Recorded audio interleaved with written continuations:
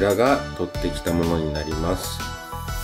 よくあの園地でですねうん見かけるあの風船の水の入った風船のヨーヨーをイメージさせますね、まあ、中身には、えー、キラキラしたものが入ってます。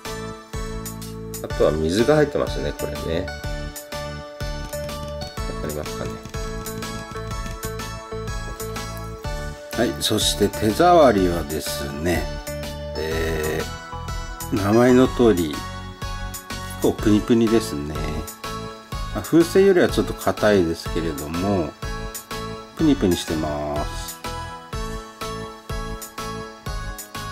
でこれは多分こうストラップ仕様だと思うんですけれども、えー、こちらでですねなんか指に入れられるようになってるような感じになってます。ここで固定して指にジャストフィットさせる。こんな感じですね。そしてですね、えー、このストラップの紐がゴム製になってますので、えー、このように弾力があります。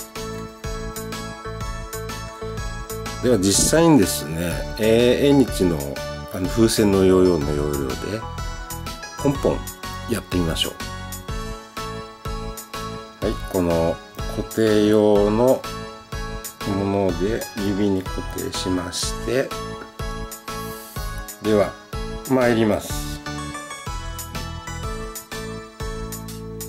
ポンポンポンちょっとコツがいりますね。はいポンポンポンポンできてますね。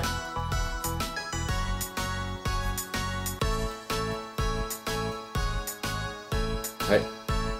こんな感じですね、はい、たまにポンポンといきます。結構難しいですね。よいしょ。はいできた。